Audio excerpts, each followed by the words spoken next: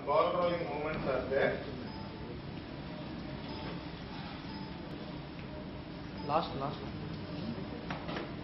Ball rolling movements with, you can see that there will be a mass in the upper abdomen with upper abdominal distension. So the etiology behind pyloric stenosis is predominantly genetic. Firstborn male children are the ones usually affected and even twins are affected. Behind we have a hormonal and neural theory also. One, the hormonal has increased gastrin, so acidity is more, pyloric muscle becomes thickened. Certain hormones like nitric oxide, which is the endothelium relaxing factor is less, and substance P, which causes spasm, is more. So the usual presentation is anywhere between 3 weeks to 3 months, with the peak occurring usually between 4 to 6 weeks. There will be a classical projectile non-bilious vomiting. These two are very important. It's not just a regurgitation, it's a projectile. Mother will give a history that the vomitus goes a fair distance and it is non-bilious. Apart from that, you will see the visible gastric peristalsis which we saw in this film. And when you do a clinical examination and the child is quite uh, not crying, then we may be able to see the mark. So the diagnosis initially was done on X-ray and contrast, which has now become a history.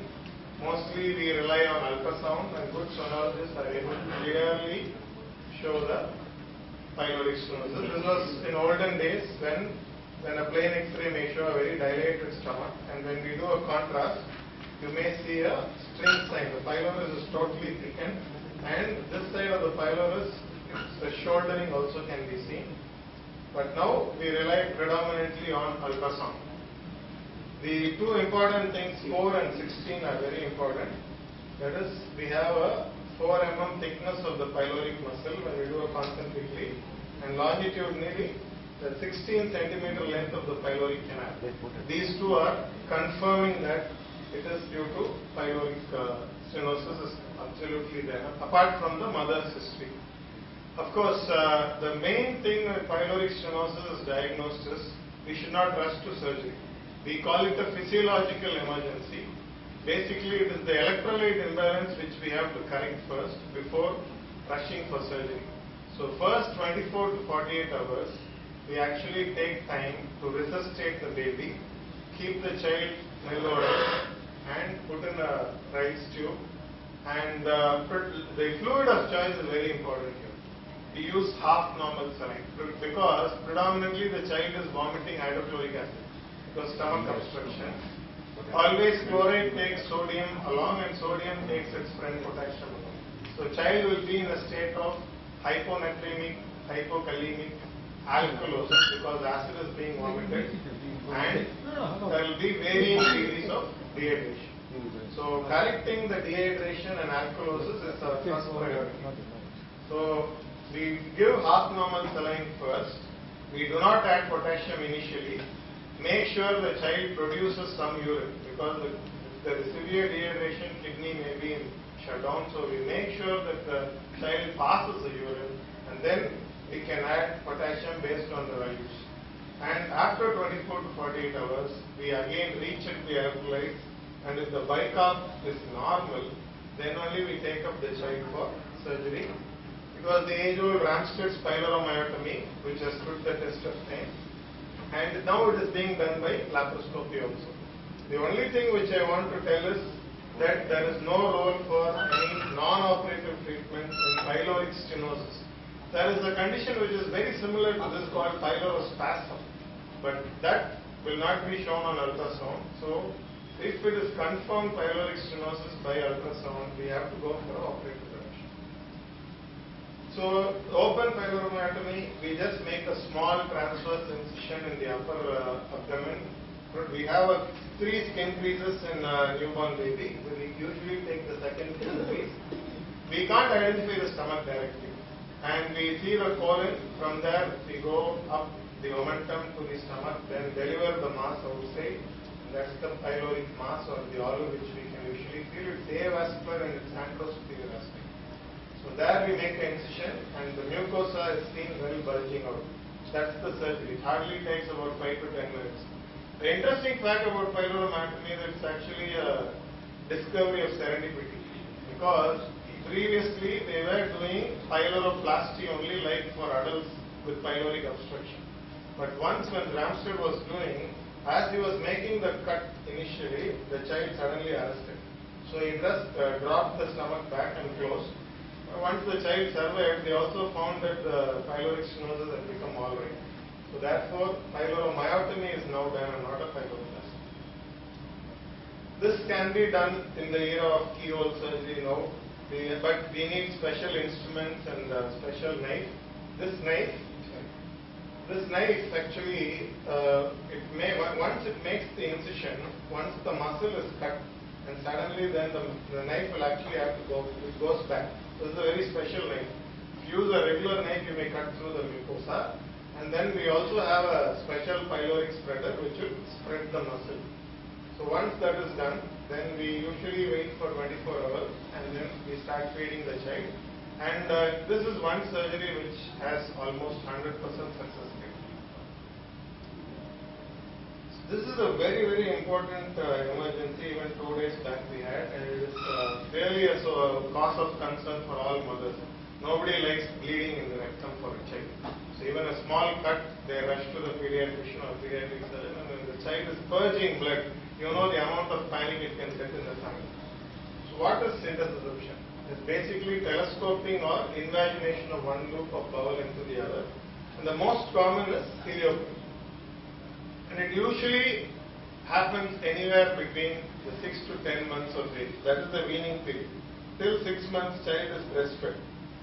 That is produced by God, so it can never be contaminated. The minute we start weaning food, and some contamination, either a rotavirus, you most commonly, so they mm-hmm. develop a diarrhea.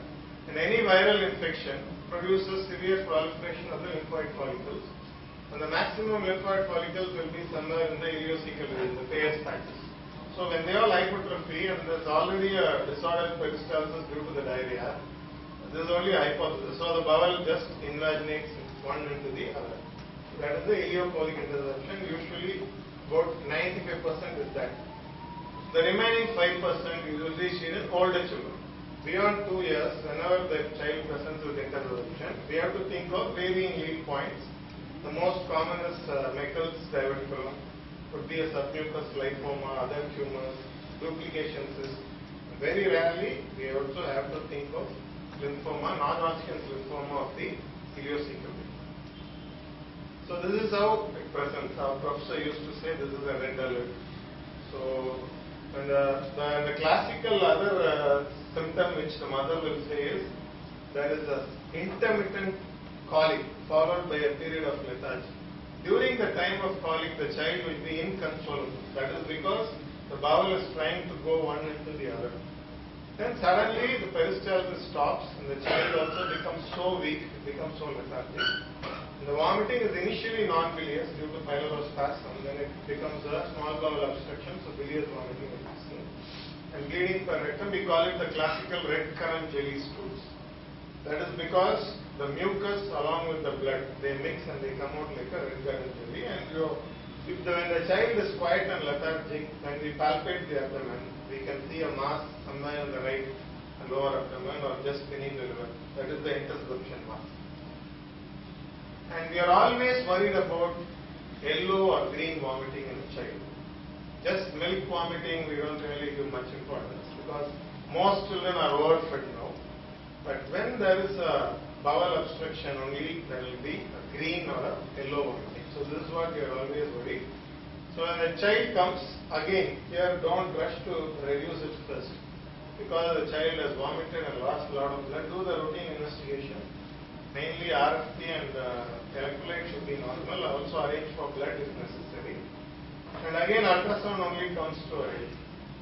So this is the classical sign which is seen on the ultrasound. So that's the outer ring of bowel, and this is the inner ring of bowel. So it's called the target sign, the shooting target or donut sign. In India, we also finally call it the Vada sign. And uh, when that is in the coronal plane, when you do it in the sagittal plane, you will see the outer loop of bowel. That is the inner loop of bowel with some blood inside. So almost looks like the kidney. So that is the pseudo kidney sign. So these two signs are almost confirmatory. Olden days we used to do a barium and even now barium is used for reduction. So when we give the barium enema from below, it goes and stops exactly where the bowel is in the intussuscepted. So this is the bowel which is gone in. So the barium will not go beyond that. So we have the classical claw sign of the pincer sign. The management of intussusception has undergone a sea change from the 80s. Now almost 90 to 95 percent of uh, the uh, reduction is usually done by uh, non-operative techniques, either by barium, which I was trained in my medical college because we don't have the luxury of having a sonologist in the middle of the night. But here, uh, Sai sir and others in Ramchandra help us anytime. Even two days back, we reduced one. Uh, so, but the barium there's a small disadvantage which we'll be talking to later. Some centers use air for reduction of the uh, and we usually follow a ultrasound guided saline reduction. Because when you use saline or air, supposing it perforates, then only saline or air enters into the peritoneal cavity and we are able to take it for laparotomy early. But when barium perforates, then it can cause a severe barium peritonitis which may be even dangerous to the child. But this is when the child presents early. But there are some indications where surgery is definitely a must when they come very late and already in the, they are in a state of peritonitis, shock, or you have tried three, four attempts for non-operative reduction and it's failed. And child once reduced goes back. Usually we have a cutoff of third recurrence. If it comes third time with intussusception at monthly interval, then we are always worried about a lead point. Or the child is slightly older, then again we have to think of those three points. So then we go for a laparotomy.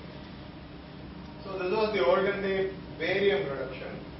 So you can see that uh, the barium uh, is given from the anus through a large size Foley. It's the same thing, either you can use saline or air also. We usually use a 22 French or a 24 French because the usual age of the child is less than one year. And the barium can or the saline bottle is held at about one meter from the child and the buttocks is strapped together.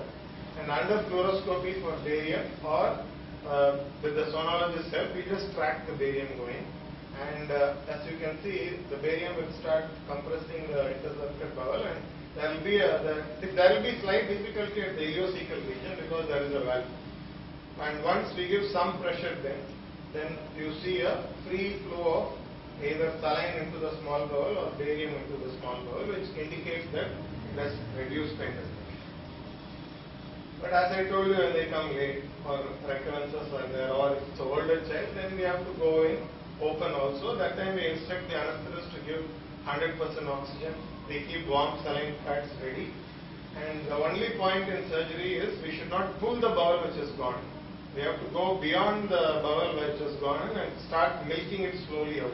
Because when you pull the bowel which is gone, along with that you can tear the mesentery and then you'll have to do a bowel resection.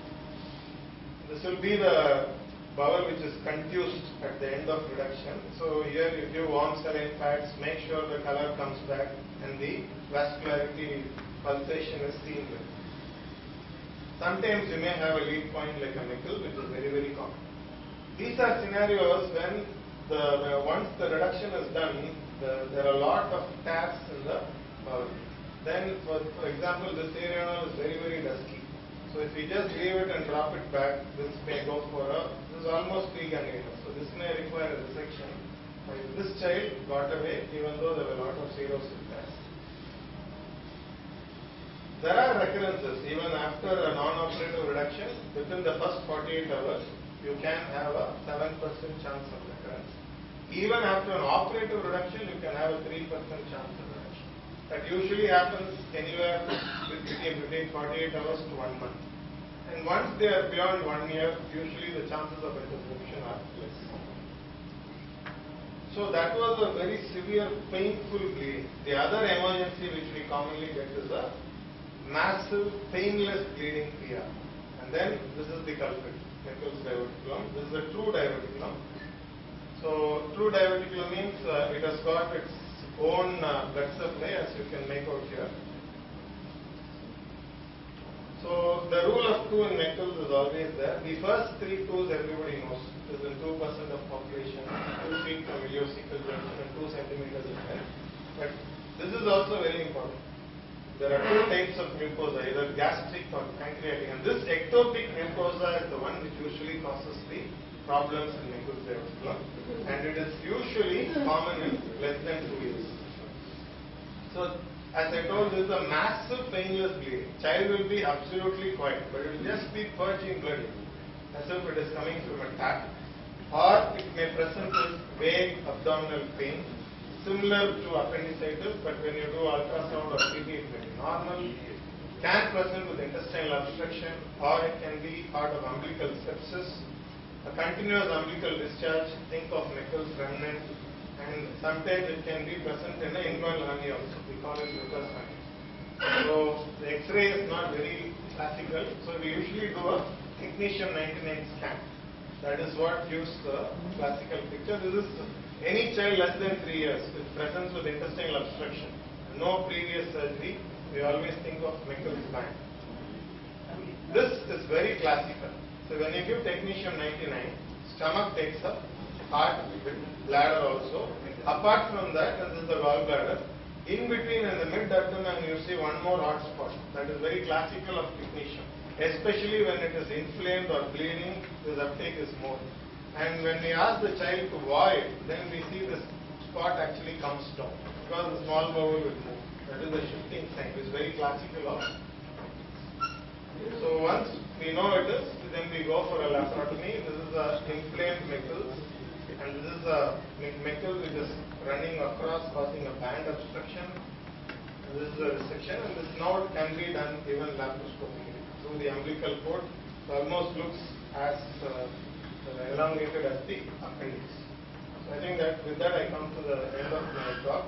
Just few common GI emergencies. Probably if I get a second chance, and one more important thing, whenever we have incidental Meckel's or any other laparotomy you see, then if there is a narrow base, if there is a narrow base or nodules are felt, this is the ectopic mucosa, then definitely do such. Thank you. Thank you, Dr. Madhu. Can take up only one question because we are running short of time. I request all the speakers to stick to their timings. Timing is around 18 minutes and 2 minutes per question. Any questions, one question we can take up. I request Dr. Sridhar to hand over the uh, certificate of appreciation to Dr. Madhu.